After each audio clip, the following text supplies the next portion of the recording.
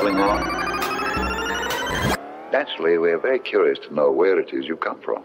From another planet, sir.